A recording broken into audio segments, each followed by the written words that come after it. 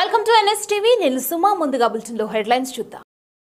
ప్రొద్దుటూరు టౌన్లో PNRW complex నందు AP MRPS Dandu Veeraiah Madiga గారి ఆధ్వర్యంలో ఏపీలో ఎస్సీ వర్గీకరణ జరగాలని జరగకపోతే రెండు వేల ఇరవై మూడులో దళితులం కలిసి కొత్త పార్టీ పెట్టి దళితుల ఓట్ల రుచి ఏంటో చూపించి ఈ ప్రభుత్వానికి బుద్ధి చెబుతామని తెలియజేశారు.